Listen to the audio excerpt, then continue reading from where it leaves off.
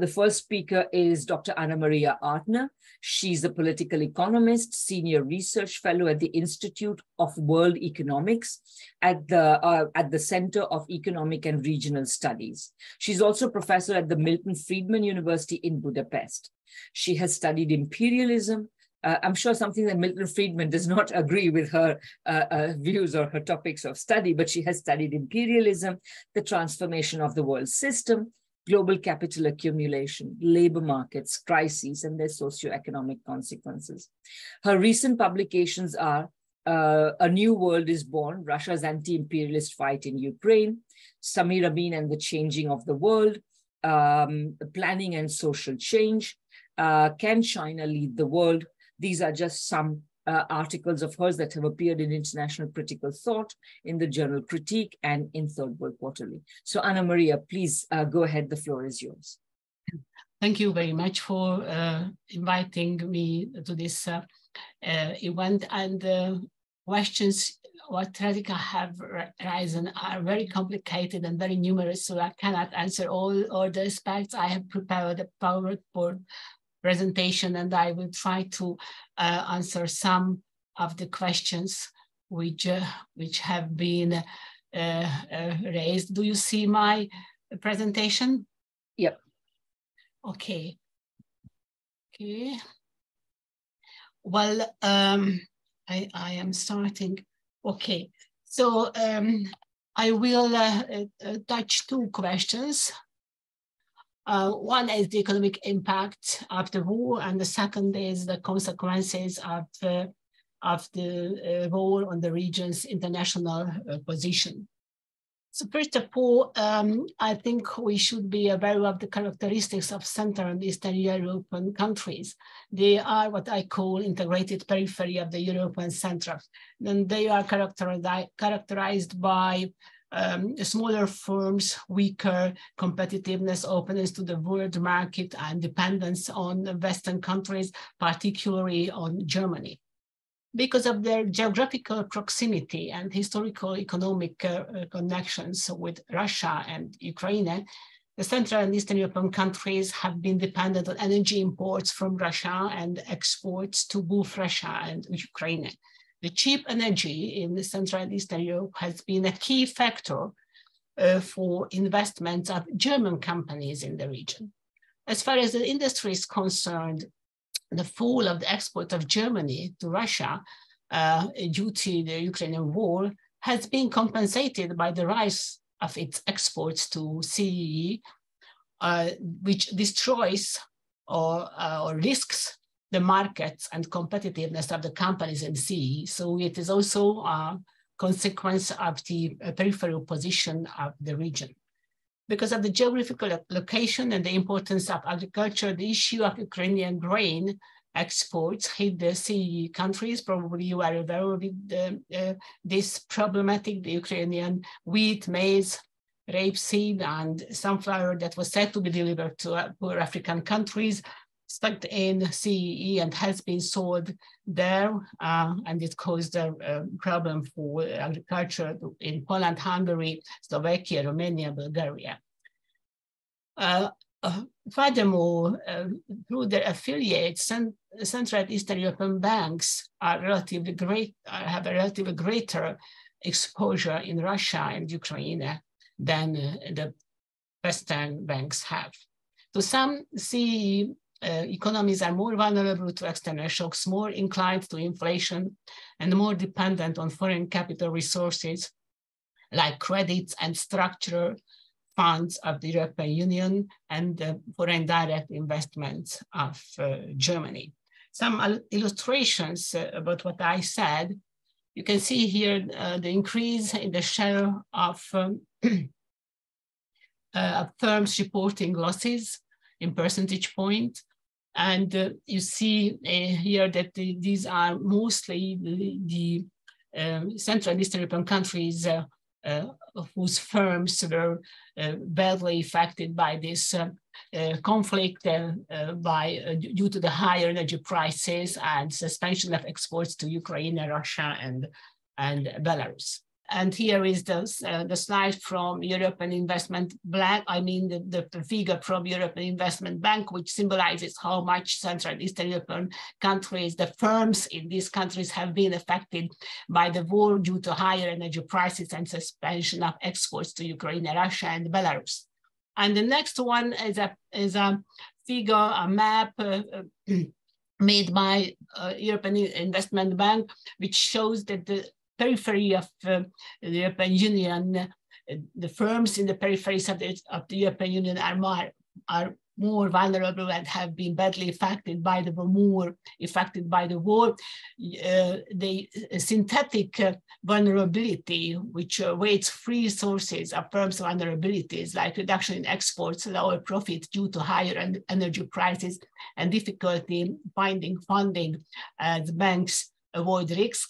So all these factors and the synthetic vulnerability, vulnerability is more characteristic for Central and Eastern Europe and the southern periphery of um, of, of, of, of, of, the, of the European Union. So, uh, however, I would emphasize uh, the asymmetric interdependence between Central and Eastern Europe and Germany. The German economy has been built on free lax, cheap energy from Russia, outsourcing to Central and Eastern Europe and exports to the world, but after 2008, mainly to the East, mainly to China. As a mirror, Central and Eastern Europe had been built on cheap energy from Russia, um, on FDI from Germany, and on exportation. So it means that the, these two uh, entities are strongly interconnected, but in an asymmetric way. But we can underline that if uh, uh, Central and Eastern Europe declines, declines Germany too, and vice versa. So I think we must evaluate the impacts of this war uh, in this context. And now something about the inflation, which was already mentioned by Radhika it has grown much faster than in the Eastern Europe, in the region than in, in other uh, European countries. This has evaporated the purchasing power of wages so that the population of Central and Eastern Europe suffered more than the people of other member states of the EU. Well, uh, to continue, the government policies applied in connection with fueling war or to mitigate the negative effects of sanctions were like uh, increasing military spending, subsidizing fuel prices, costs of accommodating refugees, investments in energy security, increasing interest rates to curb inflation, and so on. So all these uh, policies uh, increased government spending, and this can result in a growing public deficit and indebtedness in the near future. Although this problem hasn't appeared yet, as this slide shows, uh, this uh, for example, here you see that um, uh, the quarterly government debt um, uh, between the last um, quarter of 2021 and the last quarter of 2022 decreased in most of the countries of the European Union, including Central and Eastern Europe. Also, Czechia and Estonia have been uh, uh, uh, affected badly and performed performed uh, badly in this respect as well. And here you see the, um, the trend in the government debt, and this is also declining more or less. Of course, further analysis would need. Um, as a response to the inflation, central banks of the region have raised interest rates. This curbed investments and the lowered economic growth, as this uh, figure shows. Central and Eastern European countries can easily get into a downward spiral, I think, a, vicious circle. Uh, but I would add that it is particularly true for Germany, and because of uh, Germany, uh, and because Germany, uh, uh, as its competitiveness will decline in the absence of the Russian and maybe the Russian relations. So if, if the German competitiveness declines, then this vicious circle can um, uh, reach Germany as well. Here you see another figure concerning the, the, GDP growth in the region, and you see that more or less the, the countries well had some kind of uh, positive growth on, uh, in, in a year, but uh, uh, Estonia and Lithuania had been the, the most serious situation concerning this, uh, uh, this figure. So uh, the long-term uh, the long-term contracts on gas will expire in Ukraine, uh, and Ukraine has already. Sorry for that. I am a little bit exciting. So the long-term contracts on gas from Russia will expire, and you know that the gas the gas is coming through Ukraine, and Ukraine has already indicated that it doesn't want to renew uh, these contracts, and this would mean a serious shortage in Eastern Europe as well as in Germany. In this context, the strategy of the Hungarian government is an excellent one, since it could provide gas by avoiding Ukraine through the Black Sea and Turkey. This is the so-called Turk Stream. Uh, and lastly, I would return to the consequences, the broader consequences on the region. Uh, well, on the one hand, there are changes that has weakened the European Union. Beside the question marks about the future of the German economy, an, incre and, an increased division and tensions among the CE countries work against the European cohesion.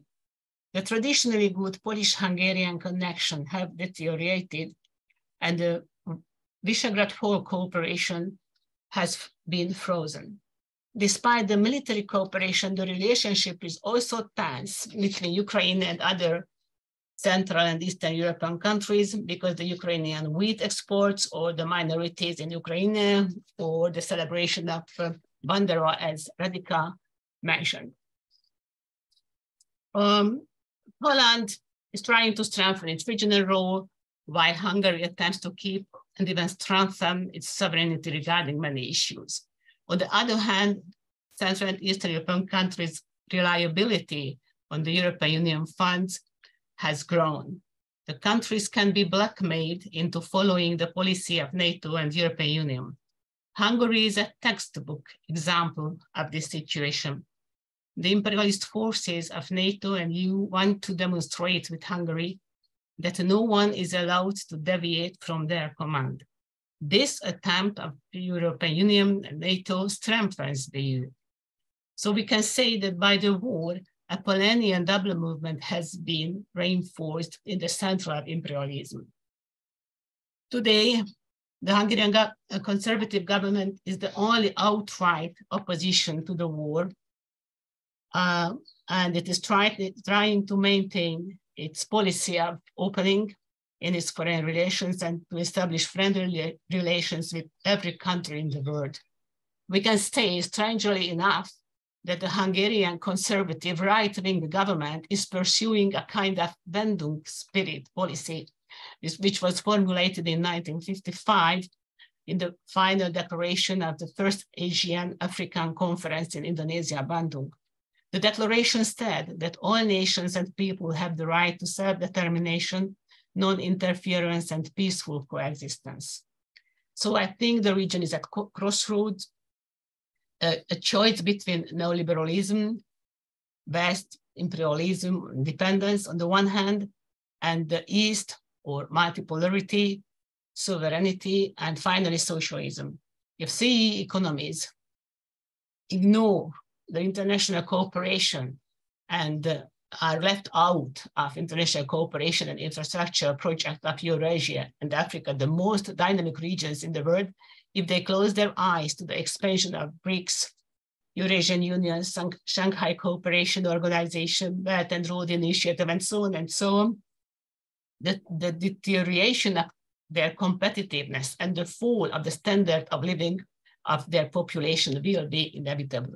So my last word in um, this issue is that uh, although the EU seems to be united, this is a very fragile and superficial unity. It is based on the dictatorship of the political elite of the European Union that serves the imperialist interests of the United States. With the awakening of the European population that will happen by the fall of their living standard due to the rise of a multipolarity in the world, the inner forces of imperialism within and between countries will clash. This will take first the form of a national fight for sovereignty uh, on an international level that will make the evolution of a class struggle at national level possible and will open the way to socialism. Thank you very much for your attention.